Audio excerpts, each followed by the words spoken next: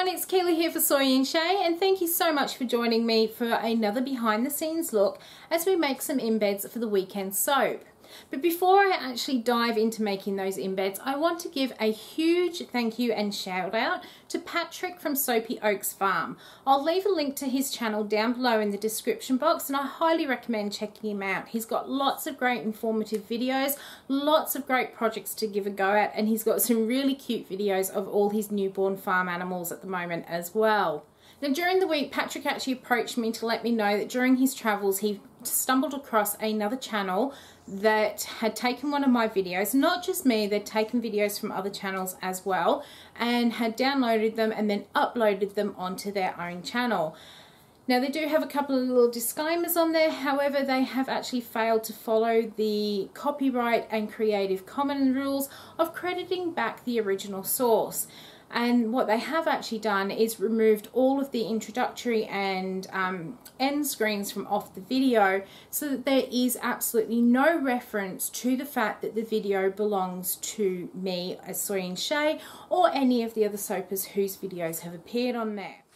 So although I am actually spending a little bit of time researching how to get this video safely taken down, I'm not going to get angry, frustrated and cry and all that sort of stuff over it. Instead, I'm going to take it as a lesson learned. Now, I'm all over watermarking photos. If you do follow along with me on things like Instagram and Facebook, you will see that my photos will generally have my logo somewhere in it. I don't watermark because um, basically we've got enough technology now that people can take watermarks off photos and I have seen this done. What I now do is make sure that my logo is actually somewhere in the photograph. So not the watermark, but actually a physical object with my logo on. So for example, if it's a picture of a soap, my soaps will actually have my logo stamped onto them. Um, there was a really silly photo I did on Instagram this week where I showed my foot with my Ugg boot on and when you look in the background there is actually a bag hanging up which has my logo on so that photo is quite obviously mine. It's taken in my work studio.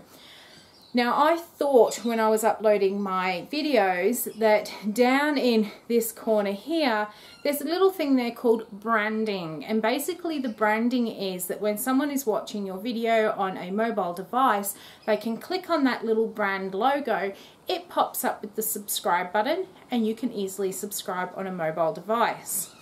I somehow thought because it was called branding that that actually stuck to your video and it turns out this is not the case. When someone downloads your video it removes that branding and it also removes the little eye from up in the corner so none of the links follow through either. Now it's going to be very difficult for me to actually put something within the um, within the video showing my logo. I could put a business card on my workbench, but I know me, it will get knocked out the way, covered in soap, probably stuck to the bottom of a jug, something like that. So the only way I have now thought that I can actually start branding my videos properly is up in this corner now there will be my little logo and this is hopefully going to deter people from stealing my videos. I'm also going to start making a bit more of a conscious effort to put things like my Instagram handle at points in the video and that will hopefully also deter people from taking it. I'll just have to make sure that it is at a point in the video that is vital so that they don't cut it out. Hopefully none of these will really affect your viewing um, of the videos. And I do ask if any of you guys do see any of my videos floating around out there that are not linked to my channel and are also not credited back I would love it if you could please let me know. You don't have to write anything to the other channel just let me know and then I will handle it from there. So with all of that being said we will now go and jump into making our cold processed soapy embeds for the weekend soap so we're going to have a few different steps into creating this next embed for the soap and the first thing I'm going to do is create myself a little block of soap which I will then grate up to create some shreds to go into the next soap. So I've got my solid oils and butters here because I'm going to use the heat transfer method. I have mixed some distilled water and sodium hydroxide together and this is sitting at about 76 degrees Celsius or 170 degrees Fahrenheit and what I'm going to do is pour this hot mix into my oils and butters here and let the heat melt those down.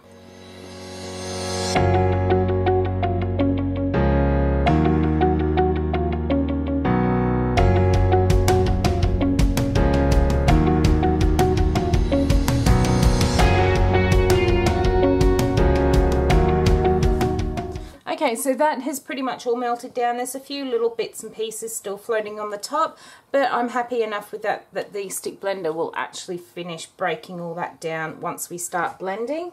What I have in this little jug here, I have my oils, but before I pour them in, I am also going to add in my mica because I want this all as one colour. And this is Silver Lakes mica from My Mica Obsession. I'm also going to add in just a tiny bit of activated charcoal because I want that to be quite a dark grey and I don't have a really dark grey on my little shelf of micas. So just give that a quick stir just to incorporate it a little bit and I'm going to pour in my other liquid oils and then I'm going to take the stick blender and I'm going to blend this up.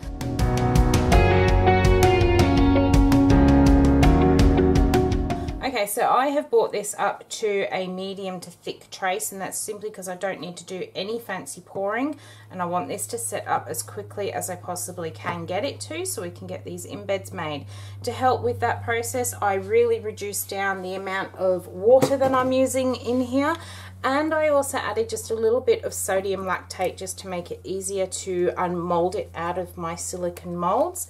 What I've got here is my tall and skinny loaf mold. I think that's going to be all right. Yeah, let's pour it in there.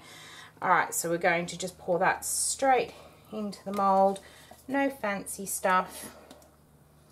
And then I'm going to leave this one to set up and then I'll come back later and I will start grading it up. So on to the next bit of the soap now. So I have unmolded this. I did get a bit of soda ash on the top there, but I'm not too worried because we're going to actually grate this up to go inside the next soap. So I've just got my grater here and this one is specifically used in my workshop. And all I'm going to do is just run it up and down the grater as you would with cheese and grate it into some little pieces.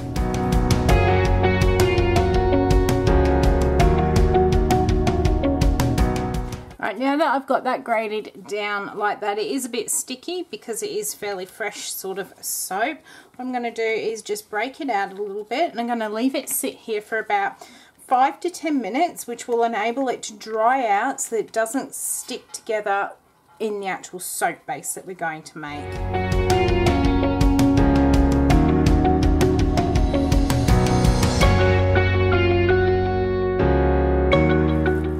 Here's a bit of a tip for anyone that wants to do this. Hold your grater up in the air so that the soap doesn't all clump together inside and then just move it around so it all spreads out. And then again, I'm going to leave this one sit here for about 5 to 10 minutes just so it can dry out a bit and then we'll come back and do the next bit of the soap. Alright, so things got a little bit busy yesterday, so I ended up actually leaving these sit overnight, and they are now dried out enough that they don't actually stick together, which will be really good when we add this into the soap so we don't end up with big clumps of grey in there. What I've got in my bucket here are my oils and my fragrance oil as well. And in my jug I have my lye water solution which I've already put in some titanium dioxide because I just want this to be a white soap with those grey scraps in them. So what I'm going to do is pour my lye water solution into my oils and then I'm going to blend it up, put my soap scraps in and then pop it into a mould.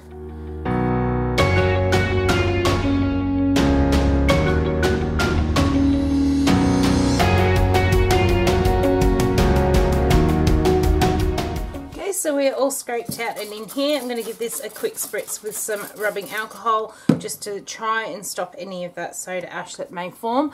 The rest of these soap scraps that are left over I do have some future plans for them so I'm going to pop them into a bag ready for the next time I need to use. I'm going to leave this one sit and set up and then I'll come back and chop it up. Okay, so I've unmolded my piece of soap and this is what we've got here. And now all I'm going to do is chop this up into random pieces. Some of them are going to be small, some of them are going to be quite big. So I might just chop that one a little bit wider there. And basically I am just going to do lots of little sort of pieces that look like this, or roughly like that.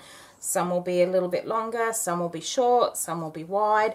And I'm really, really hoping the idea that I have got for this soap is going to come together.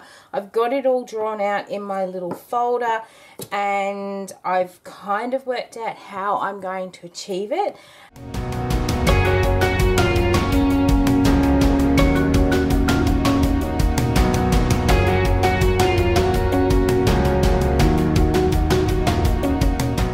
So I just had to fast forward all that bit. My dog has been going absolutely crazy and when I checked outside there's two people walking up and down the street trying to sell something and um, I just decided to fast forward through all that noise. They did take one look at the dog and decided that they weren't going to come and knock on my door so I have absolutely no idea what they're trying to sell which isn't necessarily a bad thing but I'm going to keep chopping this up and hopefully when we do the Saturday soap, this design idea that I've been working on for quite some time is all going to come together.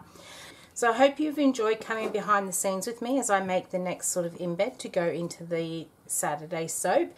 If you did, why not leave me a thumbs up and any comments down below. If you want to have a guess at what soap I'm making next, I would be interesting to see that down in the comments too. Um, if you are new around here and you haven't yet subscribed and you are keen to see what we're doing on Saturday, hit the subscribe button and if you hit the little bell it will let you know when Saturday's video comes up. So until then, I hope you have a great week and I will see you then. Bye.